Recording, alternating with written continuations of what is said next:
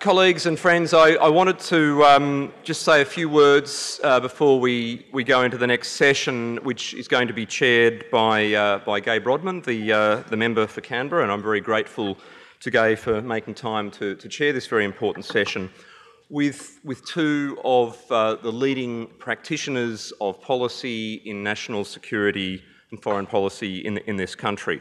Uh, but before I go to Gai to, uh, to introduce Frances Adamson and Chris Moraitis to you, and they need little introduction, I just wanted to um, really update on a few thoughts about the conference today. I've been speaking with the team, with colleagues, we've been listening, we've been learning, um, and I just wanted to share a few thoughts, uh, a few reflections already, not even uh, at the end of day one.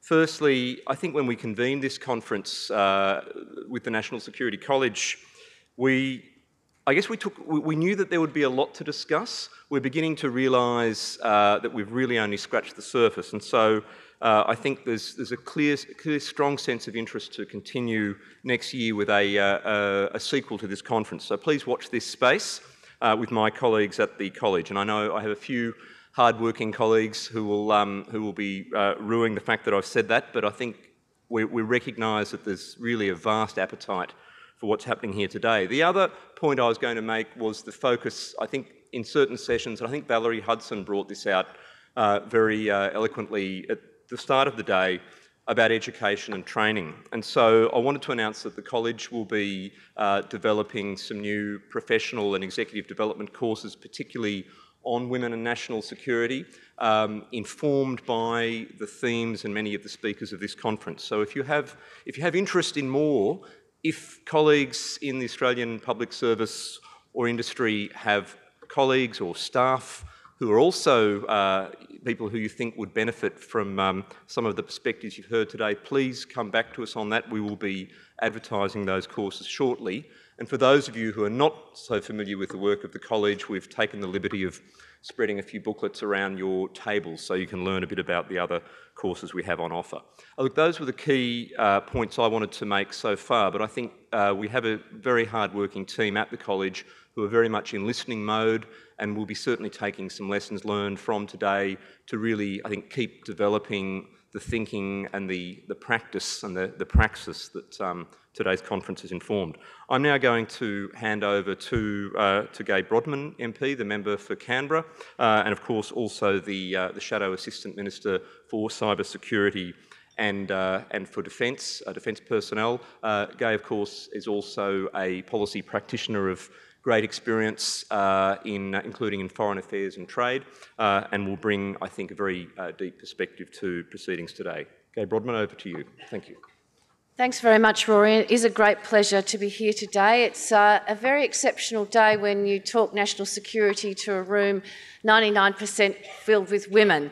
Uh, as we all know, uh, most of the meetings we go to and most of the uh, conversations we have are it's you and possibly one other woman and then a, a sea full of blokes. Not that that's a bad thing, but that's what we're here today to talk about, how we can change that environment. I'd like to begin by acknowledging that we meet on Ngunnawal country and pay my respects to the elders past and present and to congratulate Rory on getting uh, the, this workshop together, this conference together. It's uh, obviously a huge hit and, uh, and all strength to you, all power to you for uh, getting all these women, these fabulous women in one room discussing these very important issues. So congratulations, Rory. Look, as we know, uh, there are very few women in this space. I mean, when was the last time you uh, heard a woman talking about national security on radio or television? And I'm not talking about today, where we had the fabulous Jacinta Carroll from ASPI talking on a range of issues, uh, Russia and a range of counterterrorism issues. Or when was the last time you opened the paper, traditional media, and uh, read an op ed that had been written by a woman? Now, publicly, it would appear that national security issues are largely reserved for discussions by male academics, by former male ADF members, and by retired male armchair generals. Yet, when it comes to practitioners, we know, the women in this room know, that uh, the reality is quite different. That said, there is still much more that we can do to get women into this space as practitioners. So today we are joined by a very distinguished panel, a very, very distinguished panel, to discuss this issue, the importance of uh, women in the national security and foreign policy space as practitioners. That is the issue. And today we're going to be talking about uh, what perspectives they bring to our nation's security.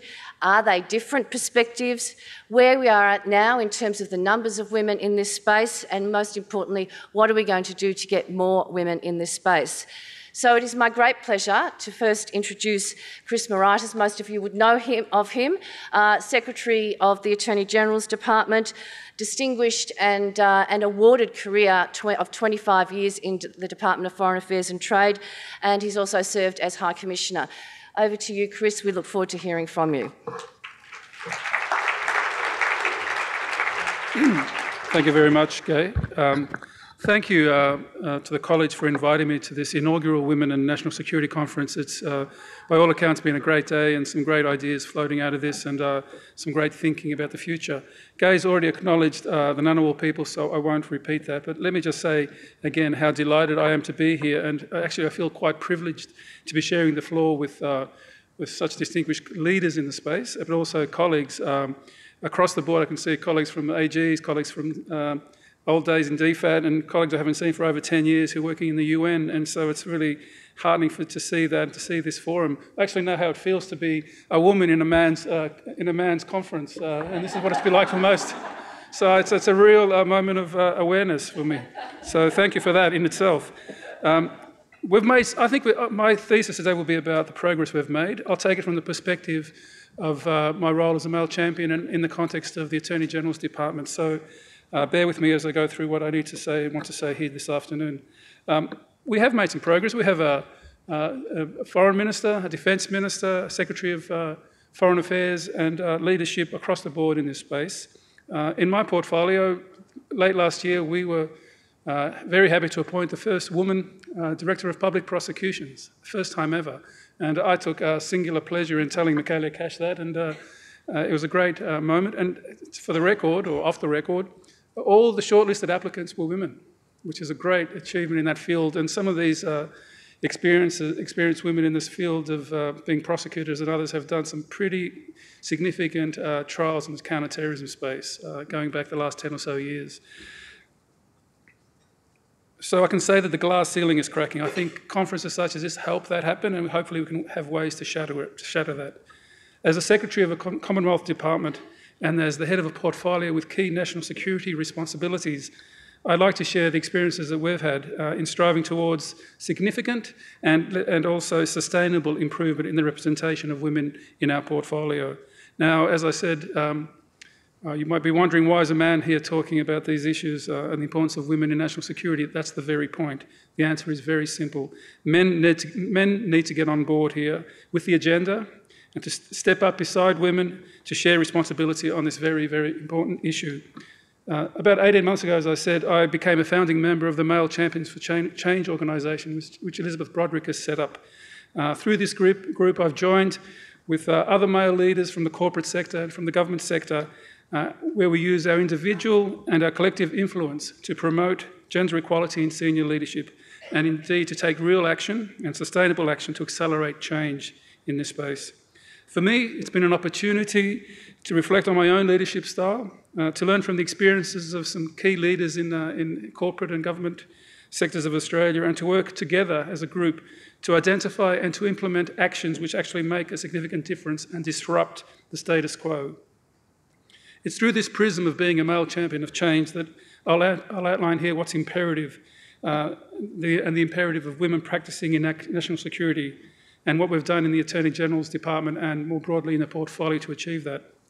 So the first question is uh, why it's important to have women in national security. First of all, uh, people say increasing women's participation in national security has been repeatedly framed as the right thing to do, ethically or morally, but I'd say it's a strategic imperative uh, for any organisation, uh, not least AGD or anyone in our portfolio. It is the smart thing to do. In truth, the imperative for increasing participation of women in, is equally applicable in national security as any other sector, uh, corporate life, government life, uh, in the non for profit sector and elsewhere. We know that tapping into the whole talent pool allows innovation to flourish, increases collective intelligence, produces better financial performance, and that's been proven, enhances decision making and accountability, and ultimately leads to improved outcomes. The list goes on and on and on. In the national security context, we face uh, the reality is an increasingly complex and increasingly dynamic security environment that, throws up new and challenging, uh, uh, diverse challenges day in, day out. Uh, in our department, for example, we work on a range of, uh, of, of, challenges ranging from legal advice, legal policy, as well as many, many operational activities involving a whole range of portfolios such as the AFP, ASIO, criminal intelligence, and a whole variety of areas touching on national security. Uh, for, responsible, for example, recently we've been responsible for uh, reforms which allow um, uh, operational agencies to powers and resources necessary to combat terrorism. Uh, as a department, we lead efforts across government in the counter-violent extremism space, the CVE so-called space, which is a, a, devilishly complex area where there's no easy answer. Um, and as we also go through that space in CVE, we're dealing with the digital reality of, of life. And as, as threats indeed become increasingly digital, we're playing in, in the department a, a, key role supporting uh, the whole of government effort uh, under the cybersecurity strategy.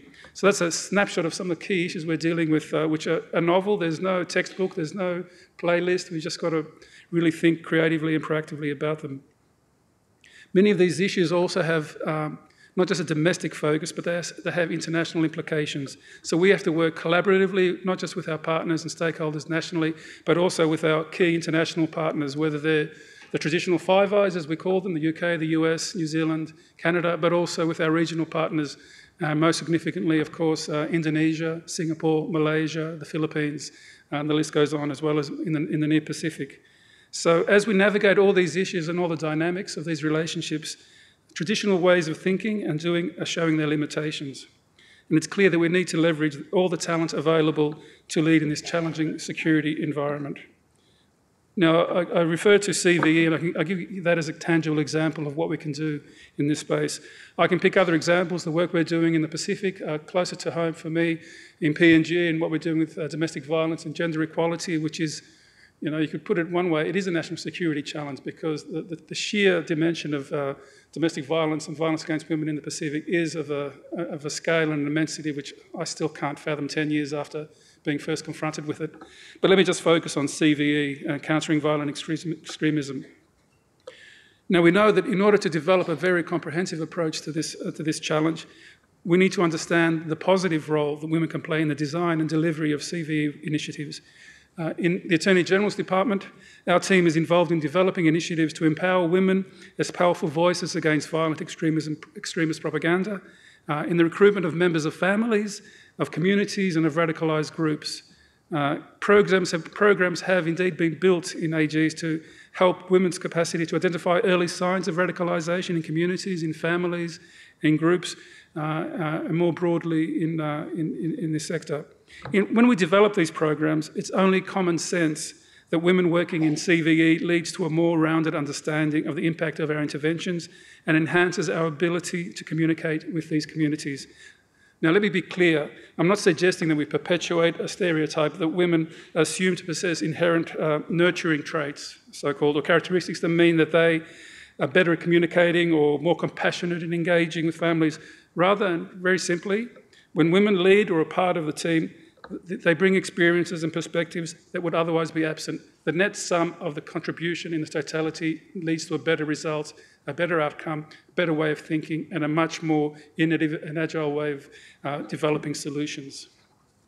I'll quote uh, uh, Camilla Bogno from the OSCE, and she said recently, when security bodies fail to achieve gender balance and, balance and gender sensitivity in their own ranks, it compromises the credibility of the authorities' intentions to safeguard women's security and rights and indeed, in that, in that conclusion, she also said a security sector that overlooks half the population cannot be efficient, nor can it be particularly effective in promoting and protecting uh, rights, and human rights in particular. So, to achieve change on the broader international scale, we need to first take action within our own spheres of influence. Now, how do we go about that? Uh, for me, increasing the number of women in areas such as national security will lay the building blocks for a department and a portfolio that is that represents the community which it serves and is better able to tackle the diverse challenges that we face. So the question is how we get, how we get there. And this is the more difficult question, and we need to achieve, as I said, effective and sustainable, that is, mean, meaningful change. So, how do we recruit? How do we train? How do we promote? How do we support? How do we motivate and empower women to fully participate in the national security uh, uh, sphere? I don't believe this is an issue isolated to national security, so whatever I'm saying is pertinent to all aspects of uh, other sectors in, uh, in government and, as I said, in the private and other sectors. Uh, the first thing I think is uh, the quality of leadership. Leadership is a key. It is, in very least, I'll say, it's the necessary condition of any success in this space. Uh, I can say that the public sector is trying its uh, as best as it can in this area. The APSC has done some really good work, and you're probably all familiar with the gender equality strategy, which sets out a number of actions to address gender imbalance in the public sector. As the strategy acknowledges, implementing change is difficult. It requires agencies to look internally and to determine how we can do things better. The point of difference, in my view, is when uh, agency leaders shift from raising awareness about the issue of women's representation to actually giving it the same treatment as any other key business objective and imperative. So it is actually a, a, a critical enabler of success. So that's why I've made diversity and gender uh, equality in particular a key priority of my engagement as secretary. It's something that I raise with my staff in almost every communication I have with my staff.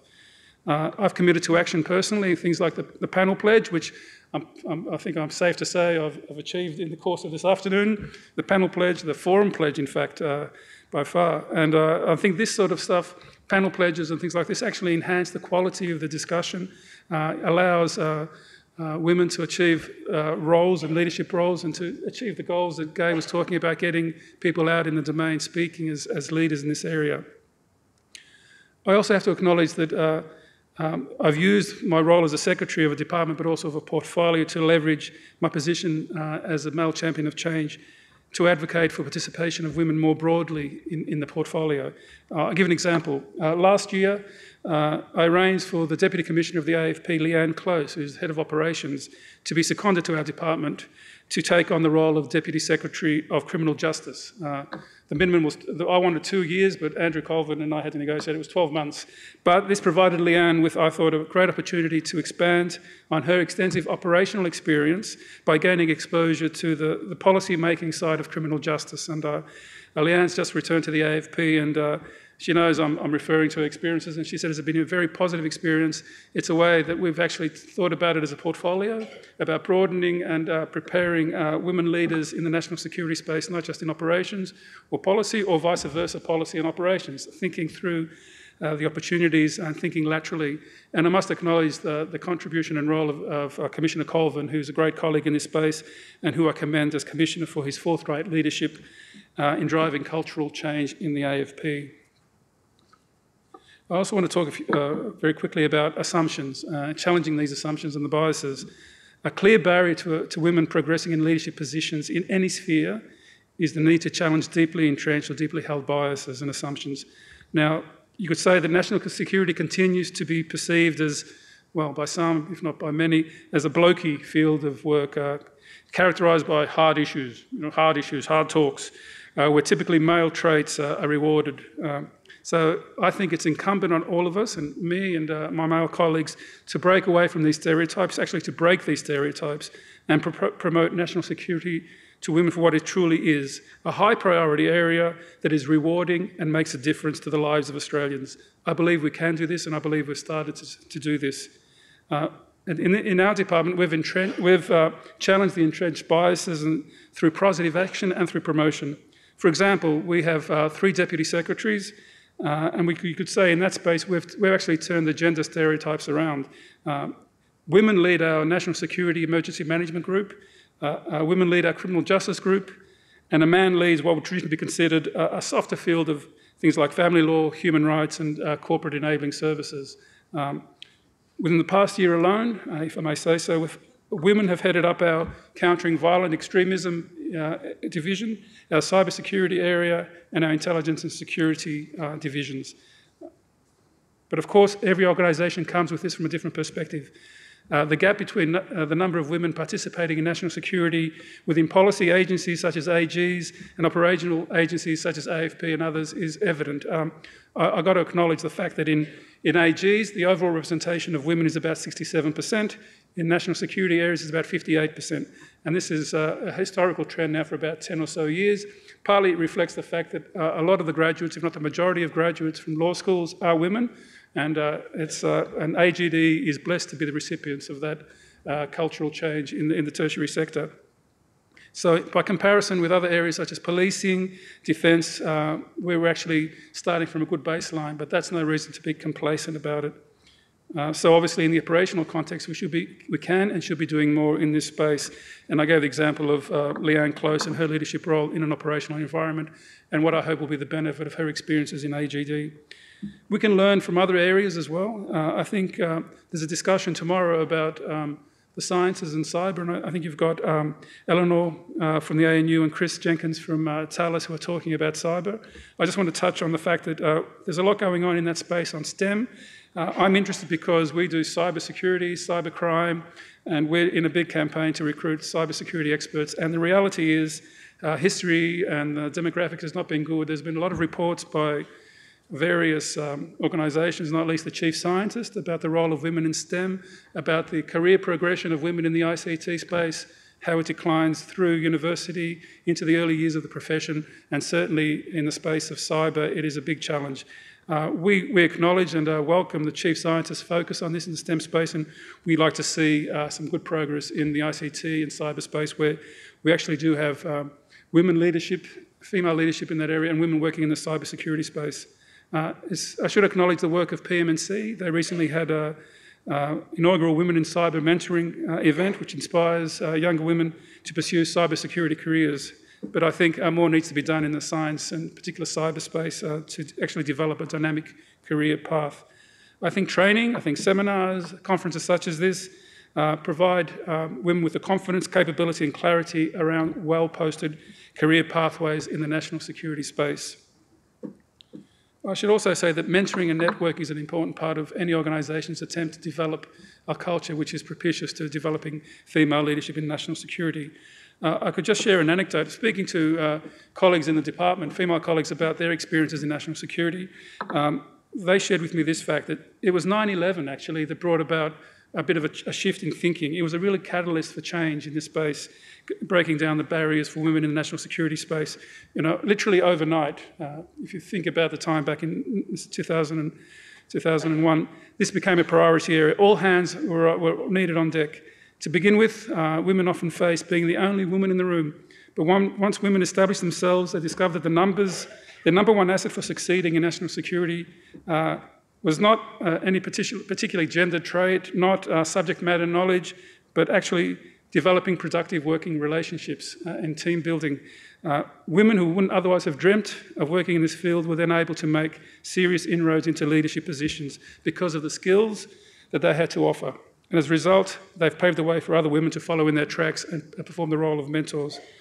Uh, we also know from uh, experience and from uh, studies that self selection is a problem. Uh, research tells us that women are more likely to undersell their capabilities uh, in some areas, even though they're equally as effective as men at delivering value for their organisation.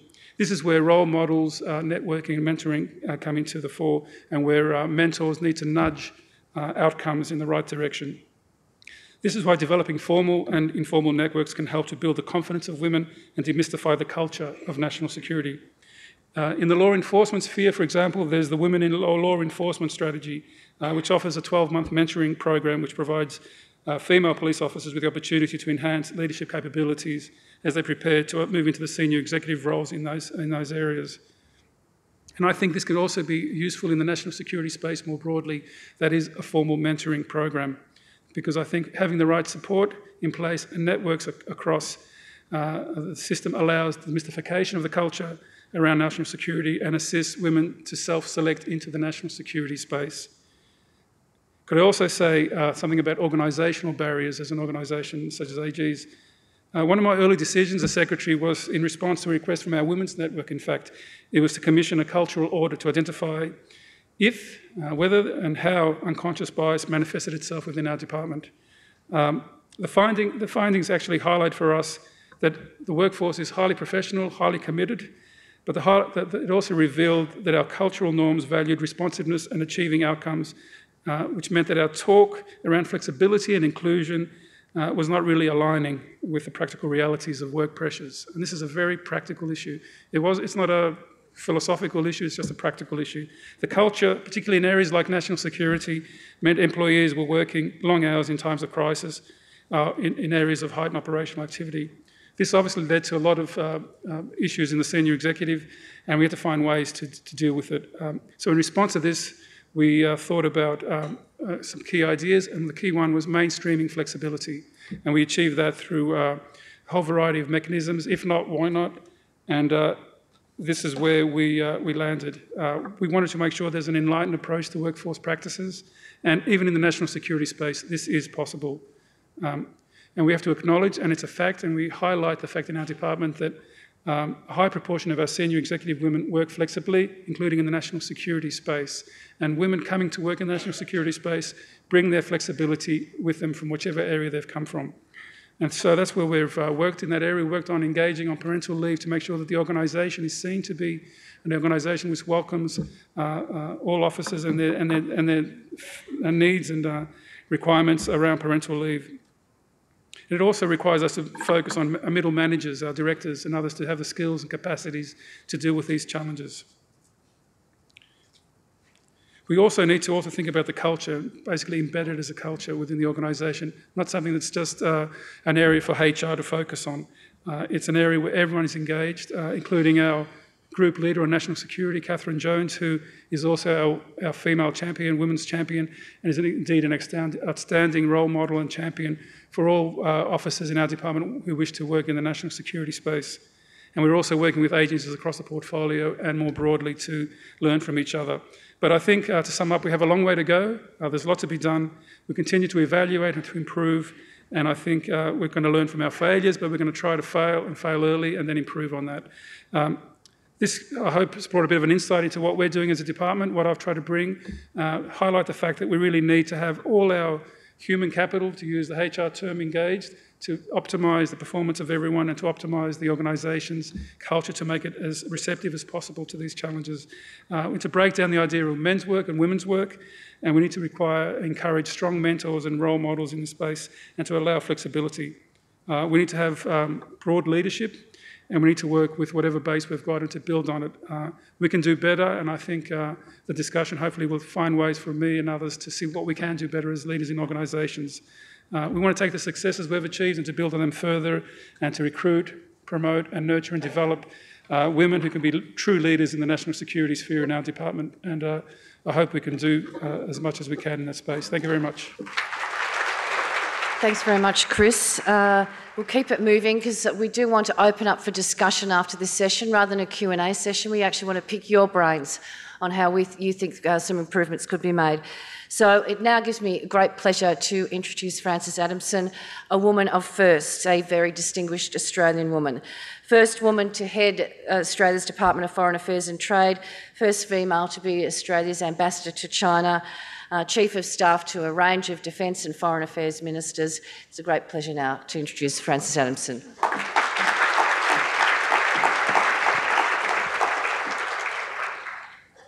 Thanks very much indeed, Gai, and thank you, Chris, too. Uh, look, I've um, put aside my prepared remarks uh, because I want to speak very briefly, and I'm delighted to see Anna Oldmeadow, my former executive officer here in the audience, and she's going to stick up her hand and wave it at me when I get to the five minute mark, and then we're going to have a discussion. All right, so I'll try and be really brief. And, and uh, Chris and I hadn't sort of cooked this up beforehand that he would talk about all of the positives and I would uh, challenge them. Uh, and that's not my natural role particularly, but I think it's probably a worthwhile thing to do today. So, uh, yes, we've made tremendous progress, and I think in many respects uh, that progress is very visible today. Uh, and while I'm very happy to acknowledge uh, Rory as head of the National Security College, I really want to acknowledge Marina Servas, whose idea this was. Uh, and Marina came and pitched it to me towards the end of 2015, early last year when I was in the Prime Minister's office. I said, as one would, that sounds like a good idea. I never in my wildest dreamed, dreams thought it would be such a good idea. Can,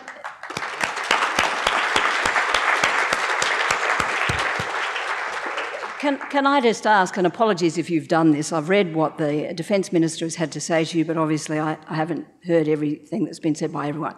Can I just ask the women in the audience, please, to put up your hand if you are currently doing or have done, in living memory, a job that has never been done by a woman before? Penny Wensley, you've got to put up your hand. You've got to put up both hands. All right, so look, that, that's a, that's, I would say, I mean, come on, put them up really high. That's, you know, that's a reasonable number. Perhaps not quite as many as I'd expected, and I can see some uh, women in uniforms hands going up as well, too, which is good. But one of the things I guess I want to say is good is not good enough. Uh, Gai was kind enough to refer to some of my firsts, uh, and I must say, 32 years ago when I joined the public service. It never occurred to me, being amongst the first group of DFAT graduates where a majority were women, women it never occurred to me that I would be doing anything uh, for the first time as a woman. Uh, and what I would say about that is make the obvious point how wrong I was. Uh, to me, and I can see that there's a camera there, but to me it is simply not good enough that there are only two female ministers at the National Security Committee of Cabinet. It's simply not good enough that there is only one female secretary who serves in a permanent role on the Secretary's Committee of National Security. It's not good enough to me as DFAT Secretary that only 26% of our heads of mission, our ambassadors, high commissioners, consuls general, are women. It's not good enough that we've never had a female head of mission in 105 years of our diplomatic representation in London. It's not good enough that we've never had a female head of mission, an ambassador in Washington or in Tokyo or in Jakarta. And Penny Wensley, of course, served as our first female head of mission in a number of roles, including, if I'm correct, in Geneva UN, UN New York, and New Delhi, uh, and actually Hong Kong. Uh, and I spotted, I haven't, I've looked across the audience, but I see Ruth Pearce over there as well, who served as our first female head of mission in Moscow and possibly in some other roles as well, Ruth, but that's the one that springs to mind. Prime Minister in a cyber context often talks about hardware, software, and warmware. Uh, and although it's not a perfect analogy to what we're talking about today, I think there are elements of hardware. You could say, I mean, this is a metaphor on the run, but you could say it's UN Security Council resolutions, uh, it's the SDGs. You could talk about software being the policies that we that we have, including in Australia's case our aid program. Uh, you could talk about warmware as being all of you, uh, and you could also talk about warmware as being the way each of us, the women in the audience, and, and we're going to get specific about this, behave in certain circumstances.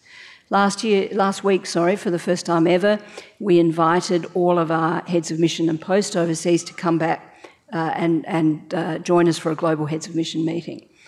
28 women were there, including some Austrade colleagues. We had a photo on the very first morning, 8 o'clock, Foreign Minister Julie Bishop.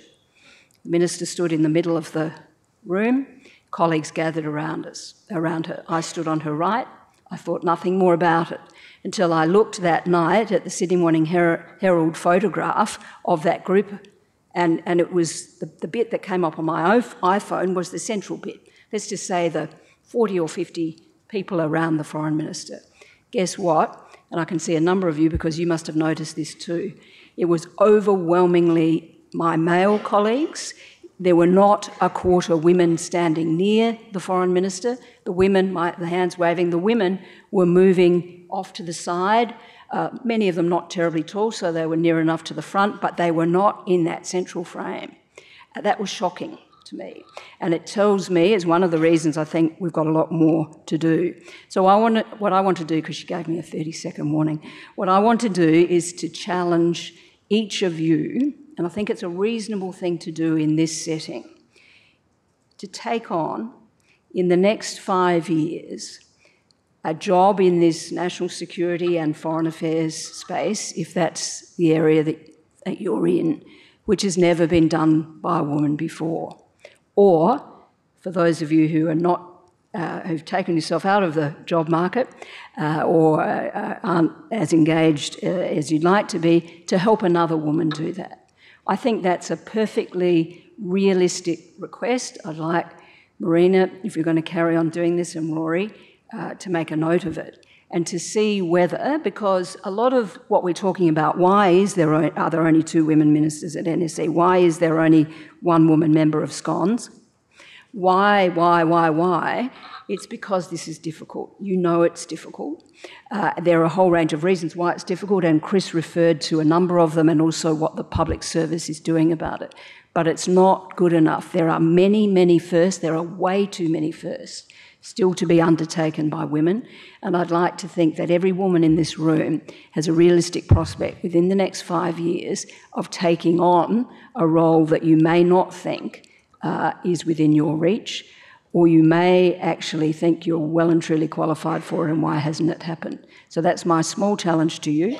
I'm going to move this back. Will this move back? And then sit down and we can do a panel discussion. We've now got, by my watch, 22 minutes of genuine discussion. So thank you. We want to throw it open to the floor, open to you, to get your thoughts. Rather than, as I said, doing a traditional Q&A session, we want to get your thoughts.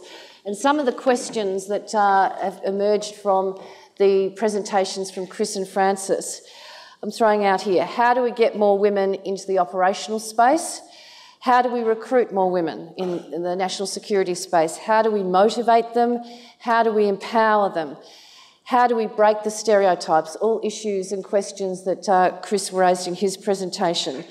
And as Frances has mentioned, I mean, what more needs to be done, or what needs to be done to make getting into this space and staying in this space and achieving in this space and succeeding in this space to make it less difficult? So we'll throw it open to you, and Chris and Frances can respond to your um, thoughts or your comments. Uh, but please, over, over, to you. It's a, a, completely interactive session. So we've got Susan here, and then this uh, lady. So, Susan, you're first. My name is Susan Hutchinson. I'm from the Australian Civil Society Coalition for Women, Peace and Security, and I'm a PhD scholar here at the ANU. Um, I thank you both for really fantastic presentations and Gai for chairing a great session. Um, I spend a lot of time in this space. I work in women, peace and security, and it's not often I feel that inspired. So that was really oh, great. Thank great. you. Uh, um, my question ties in somewhat with Chris what you were asking about how do we about the role of men in this space, um, and also how do we change culture. And it's it's almost the inverse of the question of the challenge that you've set us, Frances. My, um, which is a great challenge, by the way. Thank you very much.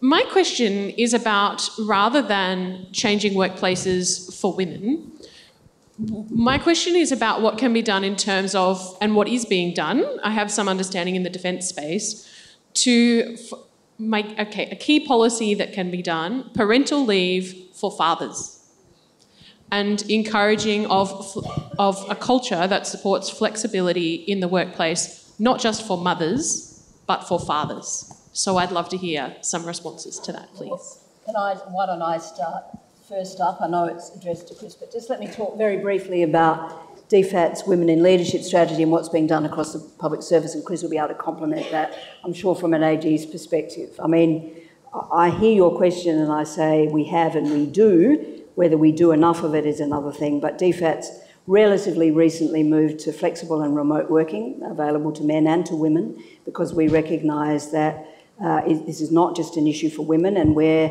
it's an issue for men, it's often linked to an issue around a woman uh, and, and a, a continuity or whatever in a woman's career. So we've actually had uh, quite a substantial take up of that. We've got now some women amongst accompanying spouses, accompanying you know men or women overseas on postings, working out of our missions back to home departments in Canberra, which might not, uh, which might not in fact be DFAT.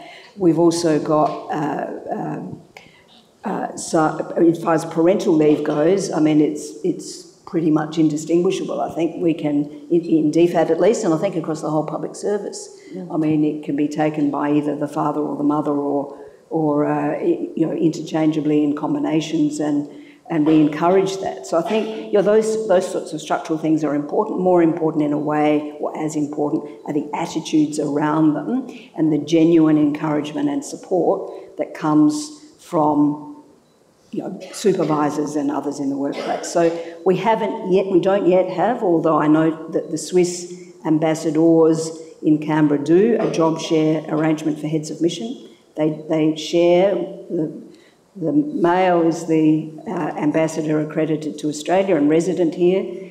His partner is uh, takes up all of the other accreditations overseas, and they work both work part time to do that. We are you know, in the business of being prepared to do that. We just haven't done it yet. But there are a whole range of flex- flexibilities, encouragement to be flexible, and then people seeing that you take that flexibility and you are not penalised for it. Mm. Penny Wensley, uh, not Penny Wensley, Penny Williams, mm. another PW, the most recently promoted yeah. uh, DFAT Deputy Secretary, has just been on three years' leave accompanying mm. her partner overseas. While she was there, she did some really interesting things.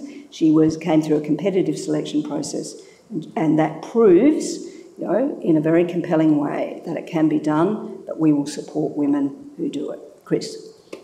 Yeah, no, you've hit the nail right on the head there. I didn't touch on that point that you raised, but that's an interesting part of this discussion we've had in AGD and through the male champions. When I first started discussing the issue of flexibility, it was focusing on women's flexibility, and then it emerged very, very quickly, including my engagement in the MCC context. In the private sector, they were already onto that. And so one of the things I did in the last two months is actually had three focus groups with men about um, taking leave.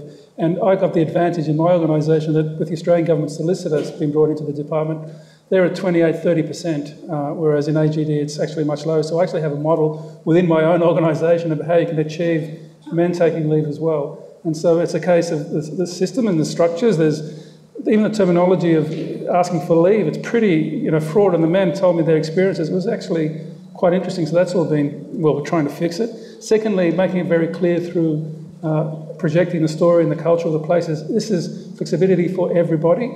And thirdly, uh, just learning from the private sector. In fact, there's actually a focus group in the MCC which is about this very issue about flexible working arrangement for men, not just about women.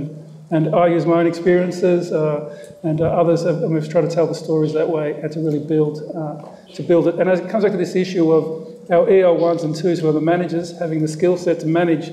It's literally practical things like whose day off and how do we, how do, we do it. Uh, and uh, as I said, AGS have done a really good job. Maybe it's the nature of the, the legal practice you can do that, but I think we can do it also in, uh, in AGD. So that is actually something we're working on right now because you can't do one without the other. It's got to be a, a, a holistic thing. And that's a really good lesson from the MCC context. Let me just also say also the work that uh, has been done in DFAT with Frances and Peter. It's been amazing. I used to run HR and corporate, and I was the coup in DFAT. And I remember the days when an officer who got had a child at post, um, all deals were off almost. It was almost like this negotiation. Whereas now it's just brilliantly uh, forward-looking and forward-leaning. And uh, I think we're we're learning from each other all the time. I steal from uh, DFAT, DFAT steals from PM&C, PM&C steals from Commonwealth Bank, Commonwealth Bank learns from us. It's, that's the way it should be. That's what I'm saying. It's got to be an engagement at all levels. And that's one of the great things about the stuff that I've learned through the MCC process.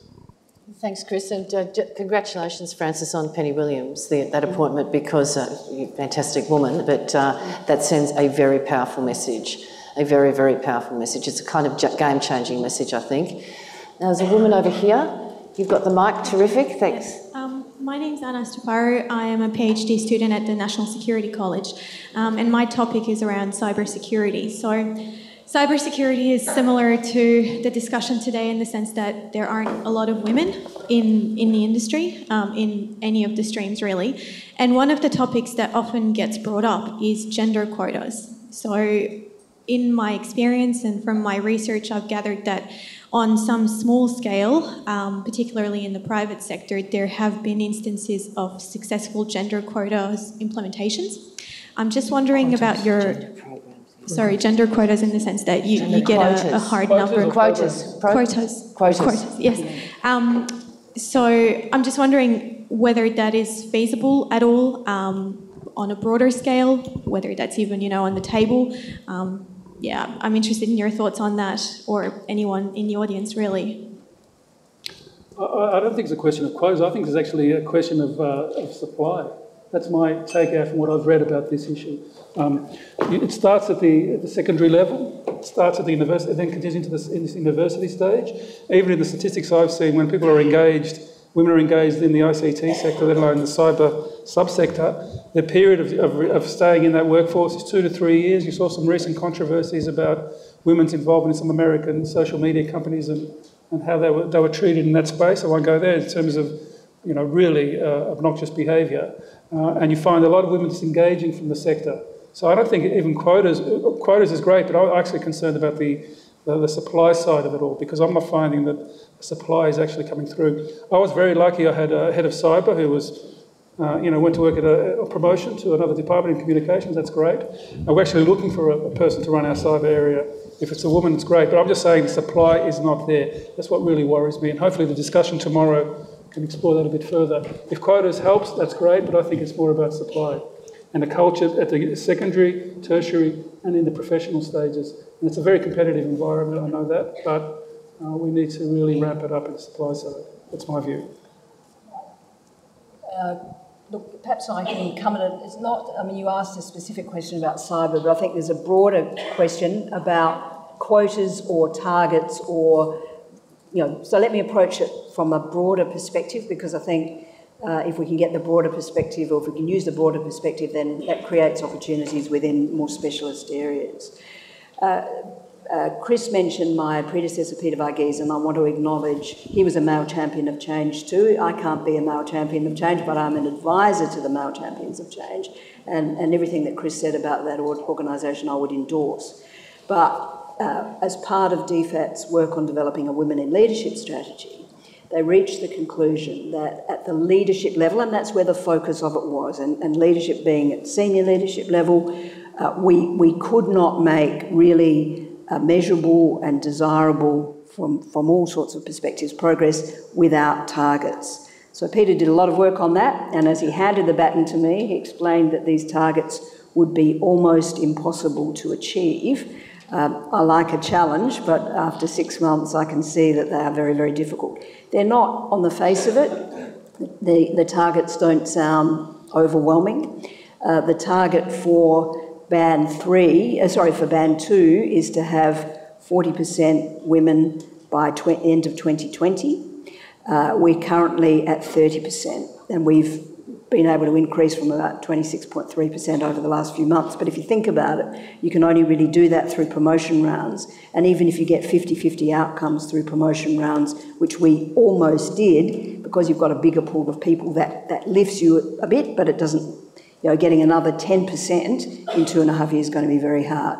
At the band one level, the target is 43%. We're currently at 33%. And again, we've made some progress We've got a big Band 1 promotion round going at the moment. We had 540 applicants for it, uh, which I hope says something about, about DFAT and the, na- the challenging nature of the work that we do and the, the, the satisfaction that it gives people. Internally, though, we had 122 female applicants and 123 male applicants, which I was delighted about because in the weeks leading up to the deadline, I'd encouraged all, se- all senior colleagues across the board to tap good women and good men, but to really think about tapping good women on the shoulder because so many good women mm. are waiting to be tapped on the shoulder and not willing yet to put themselves forward in a way that appears that they're doing this or not realizing that they're ready. So I, to be perfectly honest, I didn't think I'd need to be dealing with quotas or targets. I now embrace our targets and I'm using them, and, and DFAT is across the board because it, it can't just be about me. If I fall under a bus tomorrow or in a year's time or two years' time, it's got to be sufficiently entrenched and across the whole organisation and supported and encouraged. So, you know, our last uh, round of head of head of mission, head of post, and senior appointments across the system. I actually had formal letters of complaint, which I was really hadn't expected, very pleased to receive, from very senior male ambassadors who were complaining that including because of language training requirements years out, we were not giving them a sufficient number of senior women coming through the pipeline because any ambassador, any post manager, any deputy secretary, FAS, branch head, in whatever organisation you're in, knows that a diverse workforce and a reasonable sort of balanced mix, male and female, and, and, and a range of other uh, uh, backgrounds as well, is really important to, uh, to be able to do the job as well as we can do it. So when I have people complaining that we're not able to deliver, we've got the numbers of people, almost got them, we'll need some more too, but, but I, you know, DFAT is embracing targets, and, and I think as we embrace them, uh, all of the things that need to be put together, including things like you know, renaming our meeting rooms after, mm. after women who've made substantial, really outstanding contributions to our diplomatic history. That's part of it. Um, you know, hear it from the female heads of mission. We had several hundred staff listening to female heads of mission last week. We've got a leadership fo- photo boards that are all about what women in the place and across our network are doing as, as a clear counterweight, if you like, to the 39 portraits of male secretaries uh, and the 40 or so portraits of male ministers, because there's got to be something. We, we celebrate our history, uh, but we've, we've got to give people a different sense of the future and a realistic appreciation of the present. Just on targets, I know that uh, in the Labor Party uh, they've been a very useful mechanism in terms of focusing the mind uh, and uh, getting women out there and getting them up the ranks. So they are a very useful mechanism uh, in the political arena. Uh, now, are there any comments or questions over? Yes. Thank you so much. That's been very interesting. I just wanted to make a comment from my project, which I had introduced earlier, the de radicalization project. I'm a psychologist. Um, there are mostly girls who are working as psychologists there. What is very interesting is when the young boys are apprehended, the first thing you ask them, What do you want to do in the future? The first thing they would say is, Become a soldier, an army man. And to me, that's gun addiction. Having dropped one kind of gun, they're ready to pick up other guns. I do believe that it is because there are female um, interventionists, that today most of them are in helpful professions like um, psychologists, like doctors, like physiotherapists, like nurses, male nurses. And I think it is because there were women who projected that role to them that they have taken that on. So I do believe women should be right out there in de radicalization projects. Thank you.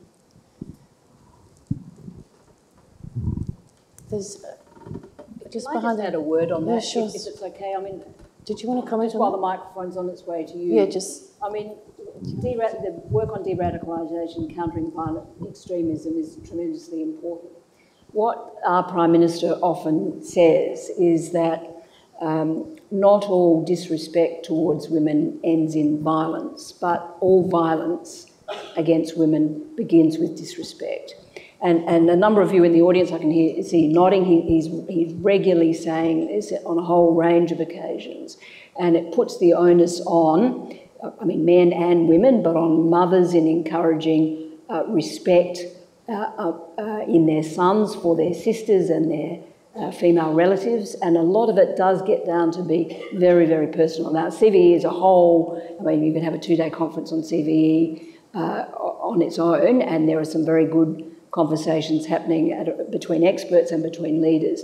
But ultimately, when you look at it, when you trace it back, it, it, it gets to a very personal level and often from childhood. Um, hi, I'm Natalie. I'm from the New Zealand High Commission. Um, thank you so much for an amazing discussion. Ms. Adamson, I really wanted to ask you because you kept talking about how important it is to strive to be the first and um, how there's a lot of a lot of things that haven't had a first woman, for example. But actually, can we have a discussion about how hard it is to be the second or the third or um, having a you know sustained woman presence in a certain field? Because I feel like there's all this amazing enthusiasm for people who are the first, and then it kind of dies out and fizzles, and you don't have as much support sometimes. Or do, maybe that's wrong. Um, so I just wanted to open up that that question or conversation. Well, look, uh, that's a fair point. This is the first time I've made a point about firsts. I normally don't at all. So it's not something that you would necessarily regularly hear. And the reason I do it or the reason I decided to do it today, was because our overall situation is not good enough. Mm. So, how do you get from a situation which is not good enough into something that's better? Well, by definition, almost logically, there've got to be some firsts involved in that. And if we could get everyone doing those firsts, we could then have a, a more informed, and I suspect actually a lot of the discussion around seconds and thir- thirds would fade away because it wouldn't be necessary. It would be the norm, the numbers would be there in the norm. A female prime minister would not be unusual. Uh, and, and so I think part of it uh, almost takes care of itself. But uh, I've never been one to do things for the first time for the sake of it. And, and as I said, I, I really hadn't expected or consciously thought about going after first. And I, and I haven't done it in any of the roles that I've had, uh, although uh, Gai didn't mention it. But my very first first, as we're on the subject, was as um, captain of the Adelaide University Boat Club, another august institution of 103 years that had been well served by male captains and not by women. So it doesn't have to be in the sort of thing that we're talking about, but this is a national security, women in national security conference. And I think uh, let's first things first, and then we'll then we'll see what happens next. But but look, it's a fair point, of course, and, and something you might want to discuss amongst yourselves. Um, Kia ora, Tepaeru Herman from the uh, Cook Islands Ministry of Foreign Affairs and Immigration. First of all, I'd just like to thank, say thank you on behalf of my delegation for the invitation from DFAT and the Ministry of Defence to participate in this um, conference. It's certainly been a, a, huge learning this morning for, for us uh, in terms of the issues being discussed.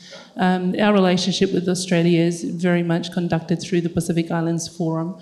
Um, so this has been quite, a, quite an eye opener in a lot of ways, and certainly plenty of food for thought for us as we reflect on our own national context and on the regional context in terms of some of the issues being discussed. I wanted to take the point um, you made, Frances, about the importance of women supporting women coming into leadership roles. Um, I'm, I'm, the Secretary of Foreign Affairs and Immigration, and my own experience um, was that there were a number of times where I thought um, perhaps uh, female colleagues could have perhaps been a, a bit more helpful. And I, and I do think it is one of the realities that we women in senior roles uh, perhaps uh, shouldn't necessarily have to, to face. Um, the other point um, was to perhaps share that um, my own view is the Cook Island context, and, and I think this is one of the things to keep in mind when talking about security issues globally. Uh, the context and the realities vary from country to country, and I feel very blessed to live in a country where perhaps uh, our realities and our opportunities uh, for women have been uh, perhaps better than in some other countries. And I was thinking about um, mainstreaming of gender issues and our own experience over the last 50 years, and, um, and wondered perhaps whether, in the Cook Islands context, it hadn't been uh, as much a talked about issue, but rather um, perhaps the socio cultural issues, uh, values that the Cook Islands uh, prioritize has enabled us to to better support women come into leadership roles. We're a very small foreign service, um, but our headquarters and the two overseas offices are headed by women. One of the challenges, actually, I think, for the Cook Islands going into the future is um, we perhaps will not be bringing through in enough numbers our, our boys and our young men. Um, perhaps such has been our advocacy of opportunities for young women uh, we've neglected a little bit our young men. But thank you ever so much for your insights. It's been a huge learning experience for us. Thank you. Thank you. Well, can I just say, look, thanks very much indeed for that comment, and can I just say how uh, delighted DFAT is to be supporting this conference, and delighted that there are a, a number of women joining us from from other countries. Uh, we know, and, and one of the reasons there's a such a strong gender theme uh, running through the government's foreign policy and our aid policy I'm sure you would have heard from Lockie Strahan this morning about our Human Rights Council campaign and various other things, is because for all the reasons that apply here in Australia, uh, apply equally uh, to, to, countries in the South Pacific in terms of being able to get the best out of, uh, uh out of the populations. We know that there are real uh, issues, big issues, including around um, domestic violence, violence against women and, and children uh, in every country in the world, but, but we have a particular responsibility, I think, and, and uh, want to work very closely with Pacific women, and we have a, a, very a number of ways of doing that. So I'm really pleased you're here. Thank you very much for that comment, and and uh, encourage other delegates and participants to uh, engage actively with uh, visitors from overseas. If you can join with me to um, thank our fabulous panel, uh, Frances Adamson and Chris Moraitis, for the contribution today. And uh, it's been very useful, and I hope it con- will contribute to uh, the next session that's on the same topic but from different perspectives. So please join with me in thanking Chris and Frances. And And again, if we could join with me in uh, congratulating and thanking Marina for coming up with this fabulous concept. And um, well done.